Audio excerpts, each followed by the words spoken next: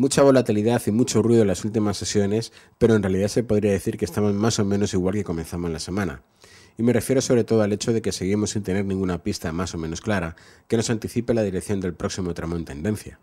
Si miro a Europa diría que el feeling es bueno y que el sesgo de trading es más alcista que bajista, pero si miro a nuestro selectivo diría que el sesgo es lateral bajista. El desplome de Banco Santander el viernes pasado ha hecho mucho daño al mercado en general. En cualquier caso, lo que podemos ver es que existe una zona de soporte bastante clara en el rango de precios comprendido entre los 9.610 y 9.650 puntos y por debajo tenemos el soporte crítico de los 9.370 puntos. Mientras que por el lado de las resistencias tenemos los 10.143. En la medida en que sigamos cotizando por debajo de los 10.143 puntos, no tendremos ninguna señal de fortaleza en el índice, a pesar de las alzas de sesiones atrás.